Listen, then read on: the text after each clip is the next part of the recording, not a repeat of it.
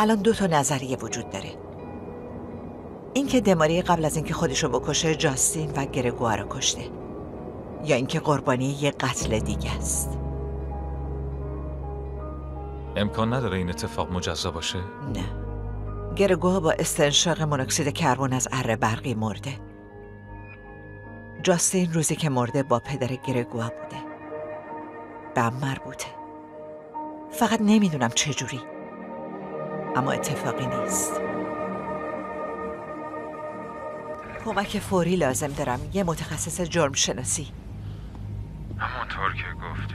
مونوکسید کربن سلاح یه قاتل سریالی نیست. هر کی که هست فرشته نیست. یه آدم سلیستیه فقط می‌خوام بدونی بین قربانی ها همچین چیزی شایع نیست. تو میشنوی چی میگم؟ باید زودتر بفهمم چی تو سرشه وگرنه قربانی ها بیشتر میشن. برای همین جرم شناس می‌خوام.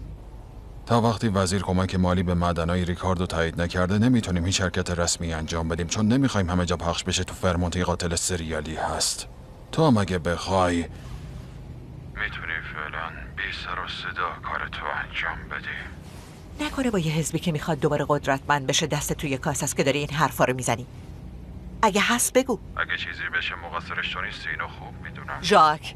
من کاملا به اعتماد دارم سلین کاری نکن از دستش بدم